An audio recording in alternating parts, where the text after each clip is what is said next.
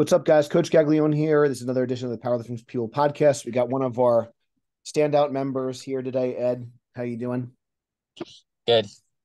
So uh, we're gonna kind of dive in. You know, here and there, I'm trying to do a little bit more kind of interviews with some of our members that have been kind of training with us for a while. You know, Ed's a you know for people that are watching this on video, you may see this, but if you're just listening on the podcast, um, Ed's a lightweight lifter. He just competes in 123, 132 weight class, but I want to kind of uh, let him kind of take the floor. So, how did you kind of first kind of get into lifting, and you know, and then you can kind of maybe talk about how that you know you transition to, you know, kind of joining our gym, and then actually kind of you know doing competitions. Yeah, so I started like lifting here and there in high school. Like I would lift during the school year, and then um during the summers I wouldn't work out at all.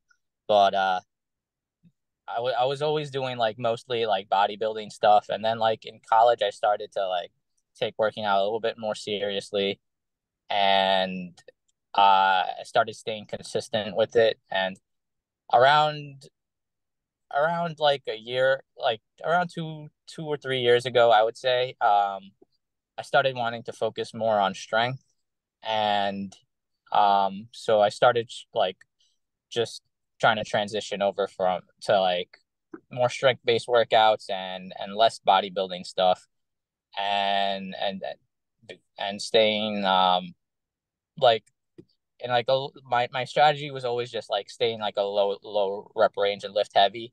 And i was always like curious on like what kind of coaching was like available in my area if there were any powerlifting gyms in my area. And like one day i just like looked it up and i saw I saw the gym here in Farmingdale, and I was like, oh, that's like literally a 10 minute drive away from me. That's so convenient. But I actually didn't sign up. And I didn't like, I just kept it in the back of my mind. And I had it in the back of my mind for like maybe a year after that. And one day I was actually watching a Larry Wheels video and um you were in that video and he was like oh my coach uh john gaglione and i was like that sounds so familiar. Like why does that sound familiar? And then i googled it i was like oh wait that's the gym i was looking at that's like 10 minutes away. That, that's like that's crazy. I was like oh that's that's that's really interesting. And maybe a couple months ago after that i saw you posted something about like uh like new members or something like that. And I, I was uh really curious if if you had um strict curl training. So I, I just messaged you about that and you were like, Yeah, come in. So that's how I got started at uh at the gym.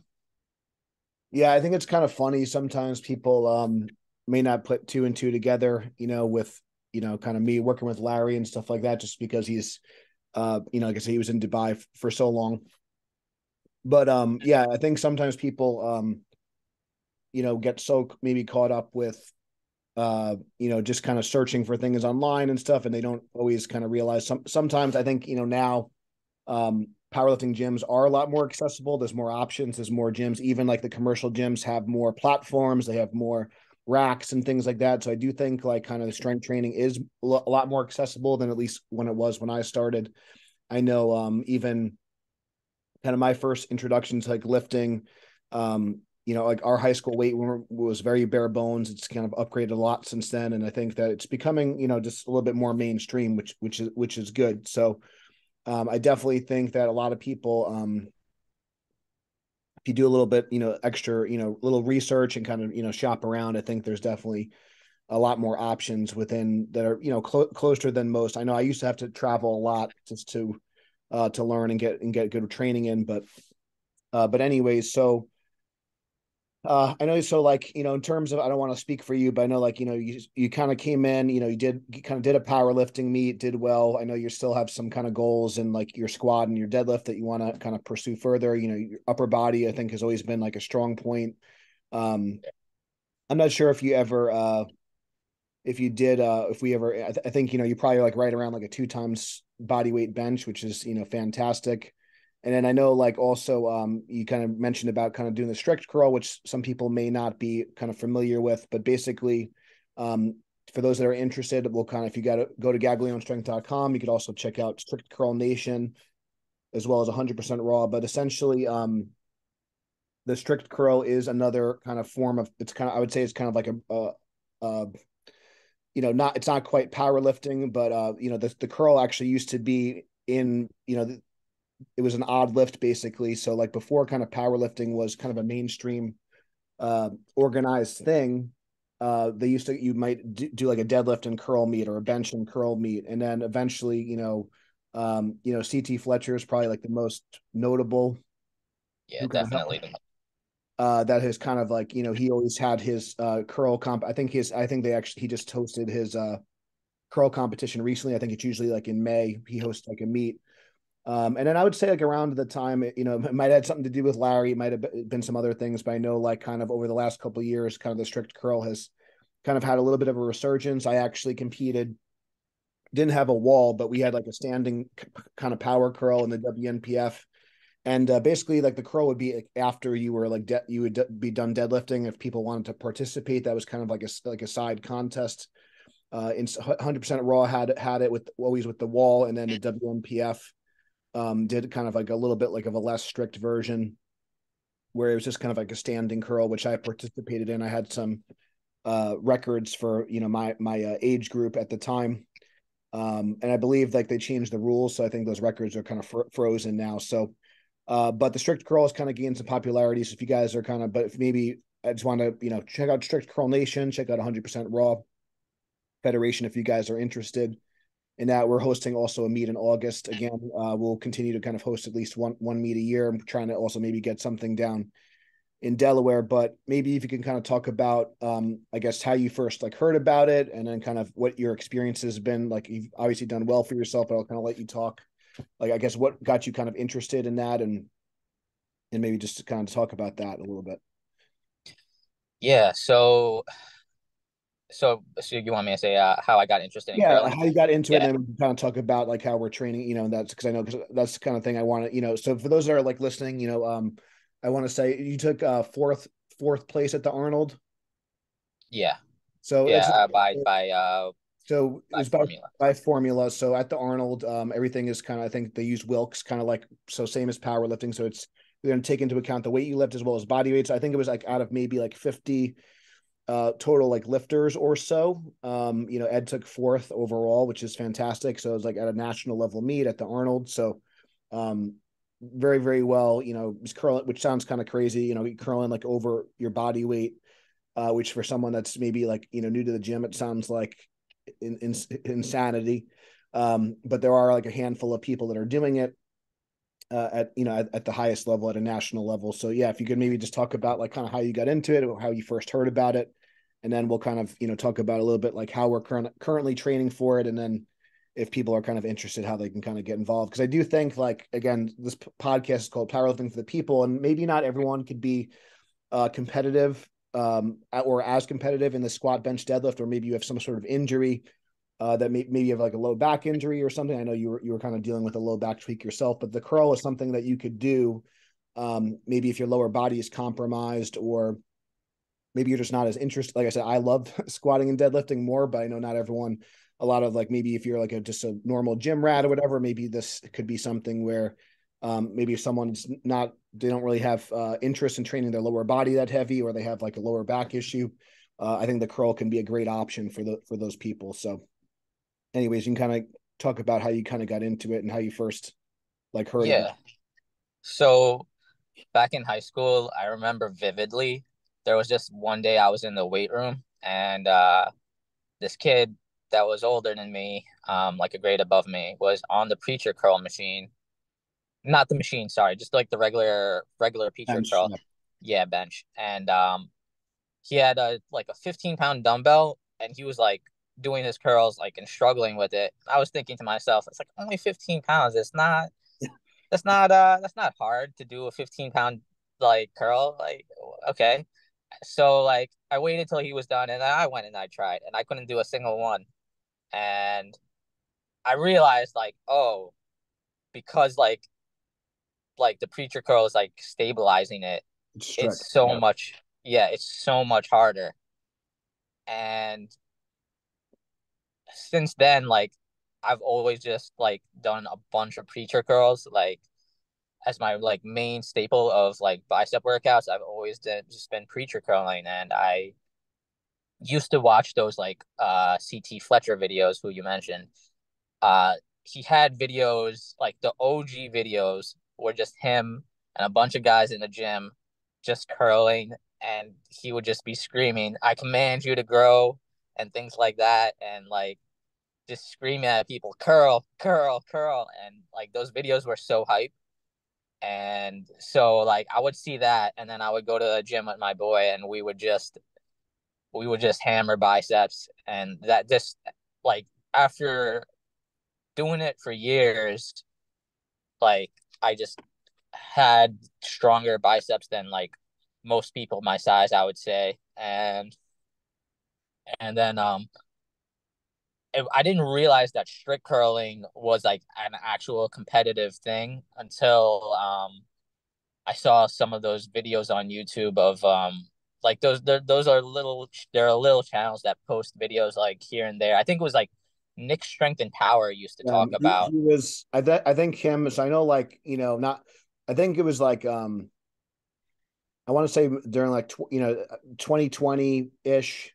Um, so this was like right after like Larry um, broke the all time record for the 308 class. So that was um, so kind of like when things started to get shut down, and I know like um, a lot of people kind of like were trying to like do kind of find something to do and, and here and there. And I know like Larry was kind of starting to do some strict curls and stuff, and I think Nick Strength and Power kind of might have did uh, kind of a piece on him and some other people. So I know like over the like the last like three years, um, and I think yeah, Nick Strength and Power was definitely in channel that because he actually w- uh, was a um, former uh, competitive curler himself, and I think he just really liked it, and he I know he loves bodybuilding, so kind of cool. So I think he started to kind of like sh- kind of pick. He, he would like find these videos and kind of showcase some of these people. Some of them that weren't even like meets yet and stuff, but and then um, I'm not sure if you know, just the timing went right or whatever. But you know, Strict Curl Nation's kind of like an East Coast organizations. You know, CT Fletcher, because I actually had um,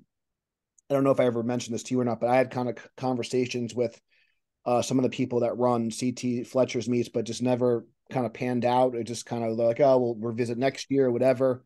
So we we did a meet. Um, we we did an unsanctioned meet. I'm not sure if you participated in that one or not, but we did one that was unsanctioned, and then the following year um, started, you know, you and John and some others, and we'll have John on here at some point. Um, it's get, starting to get like more organized. Hundred percent Raw is getting involved. Like the judging, you know, they're trying to do like you know a tested division and untested division, and um, and then obviously like doing it at you know you compete at Mr. America, and then most recently the Arnold, which was like your biggest meet, and it was probably the biggest, um, you know, in terms of like a national level meet, that was the biggest one that I that I was a part of, and you you both you and John, you know, uh, placed top 10, which was fantastic.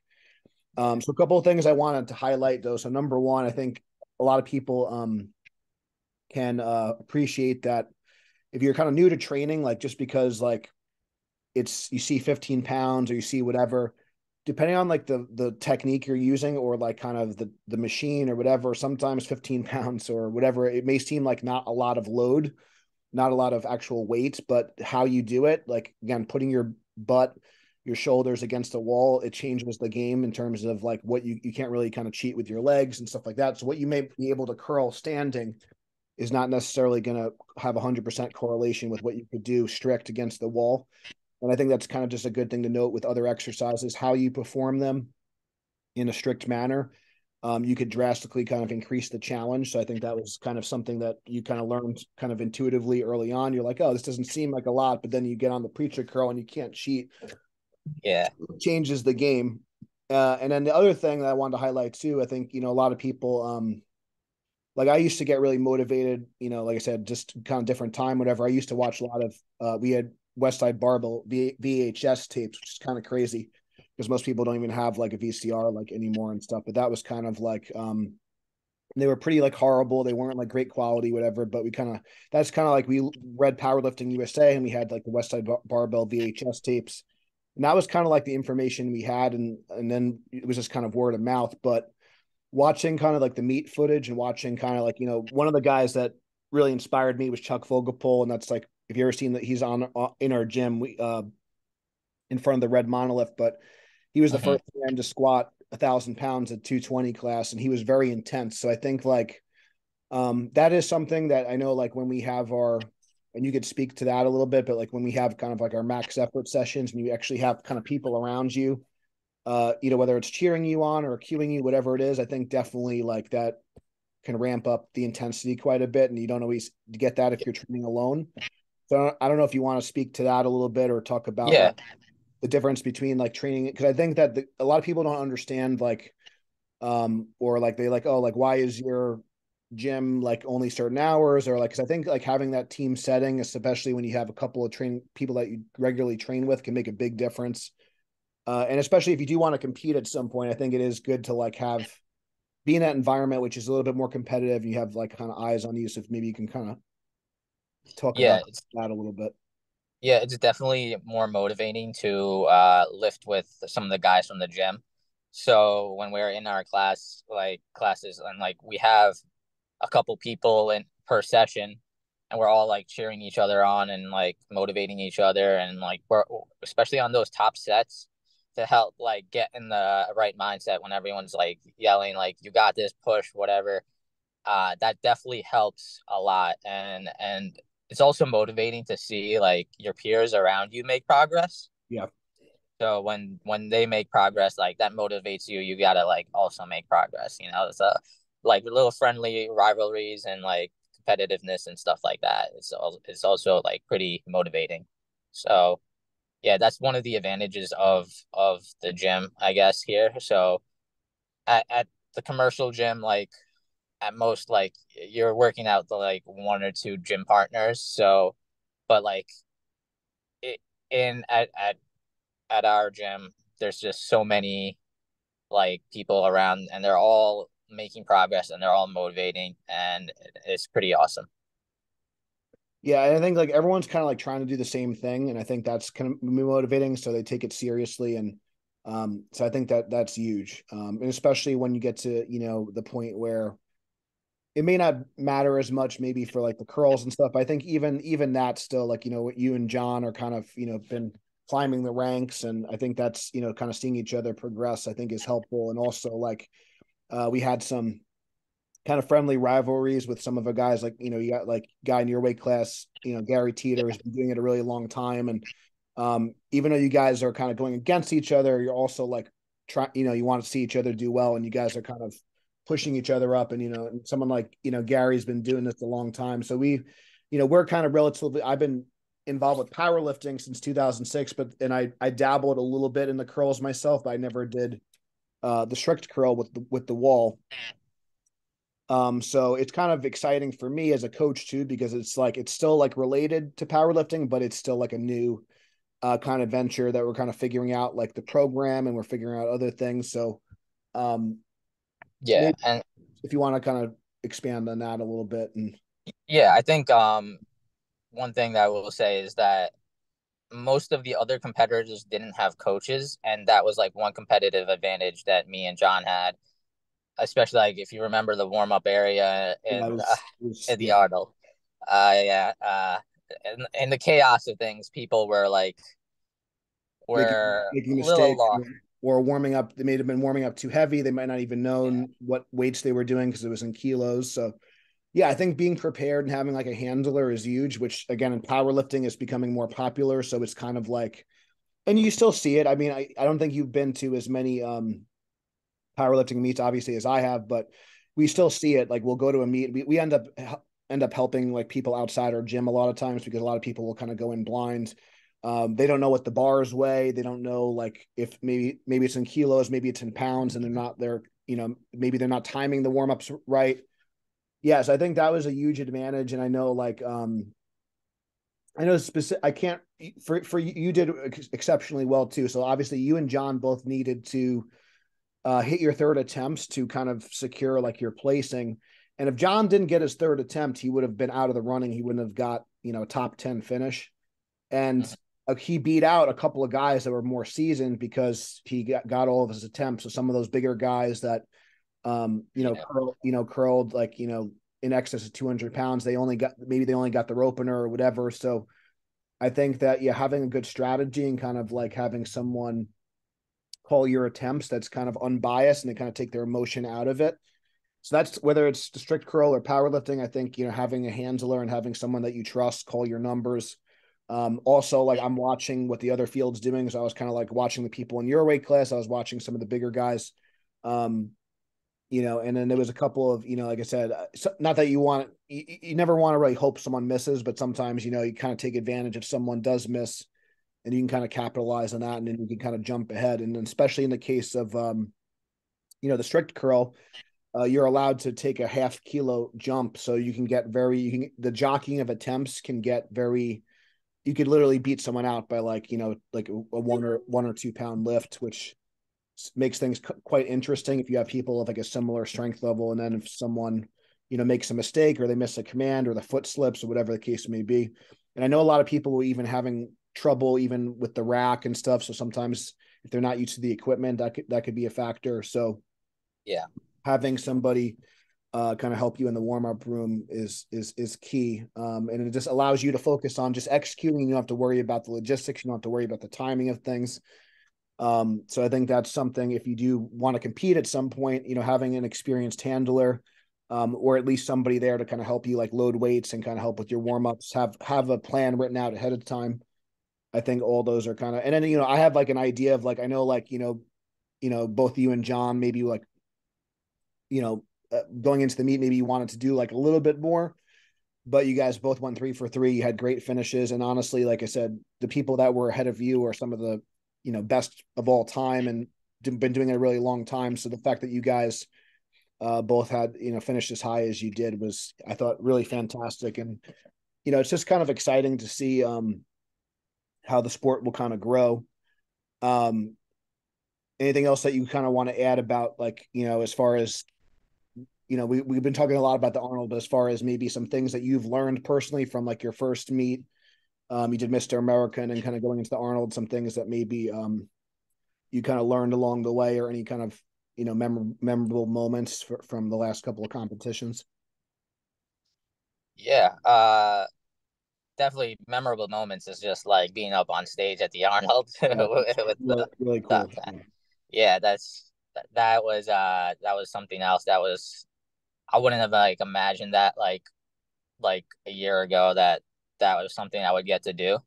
So that is uh definitely extremely memorable moment for me. That's something I'm always going to remember and I'm grateful that I probably wouldn't like have even like competed at the Arnold unless I came to this gym personally.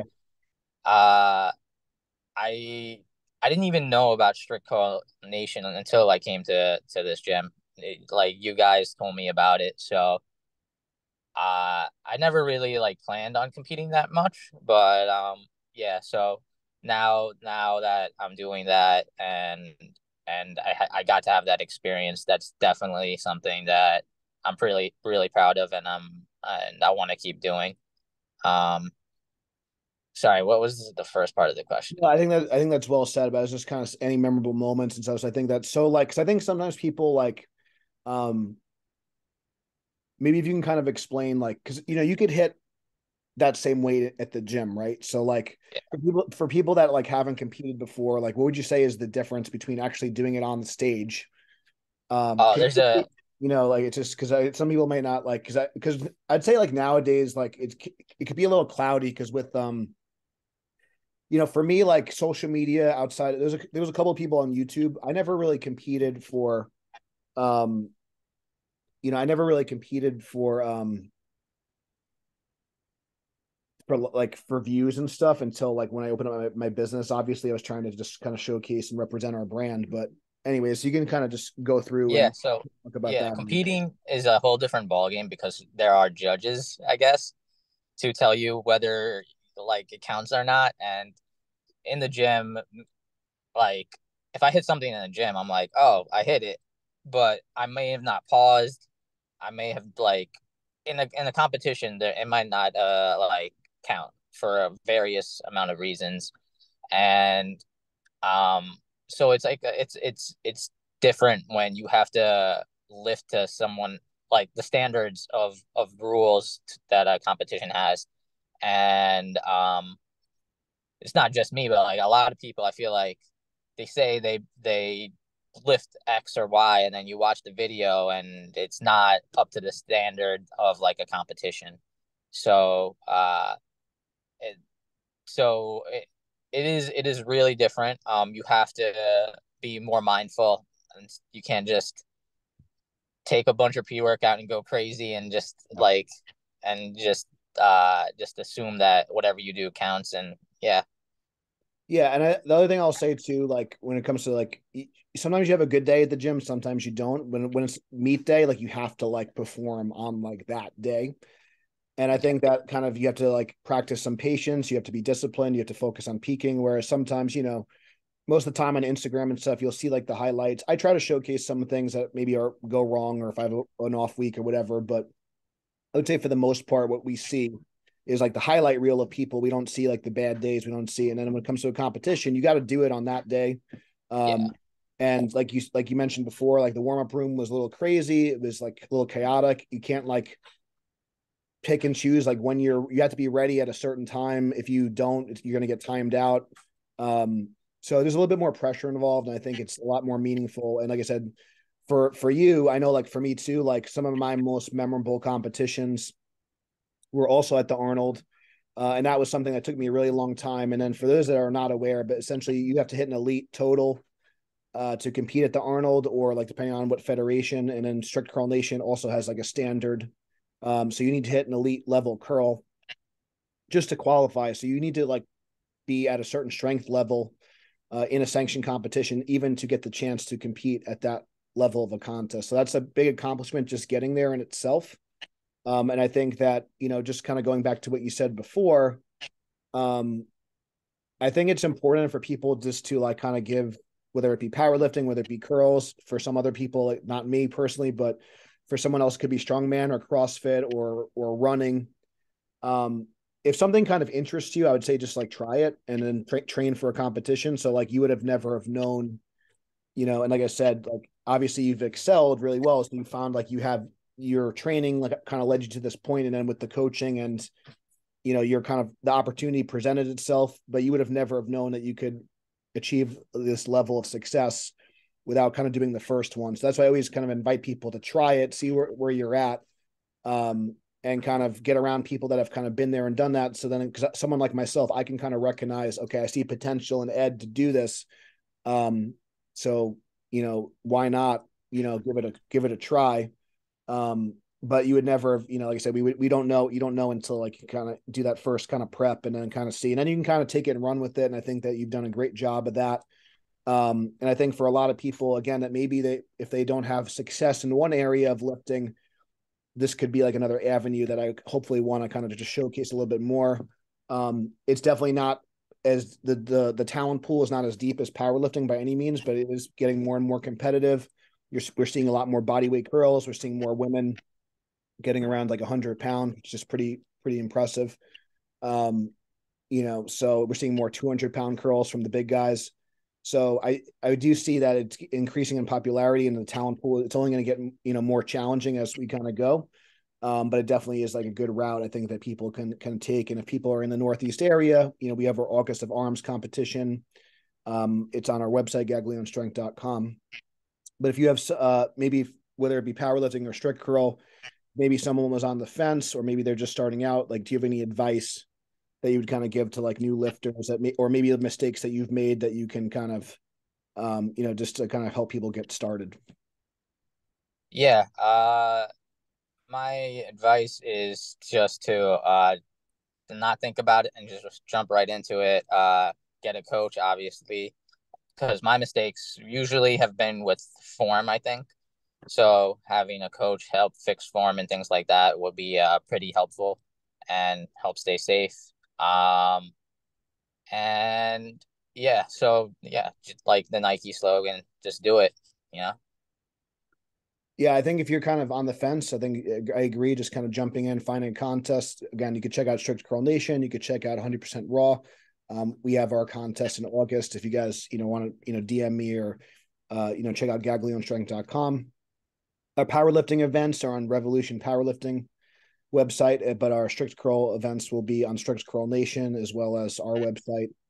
Um, but yeah, we're just, you know, we want to just get more people involved in strength training and I think this is a good avenue. So I think you know Ed's a good example. You know, like if you saw like you're not a huge guy by any means, but you're doing pretty like you know amazing feats for your size. So you don't have to be like a certain weight. There's different weight classes. You could be a man, a woman, big guy, small guy, medium guy. Um, there's categories and for everybody. So maybe if powerlifting wasn't your thing, maybe strict curl could be a good avenue for you. So kind of check that out. So uh, any other, like, I guess, um, final words for the audience before we uh, close out? Uh, no. Well, I appreciate you coming on. So let's, you know, one uh, that's kind of listening, you know, just uh, wish Ed luck in his next uh, contest. We got some kind of exciting to see like what he could do in the future for with Strict Curl Nation. Thank you guys so much for listening. And until next time, stay strong and we'll see you soon.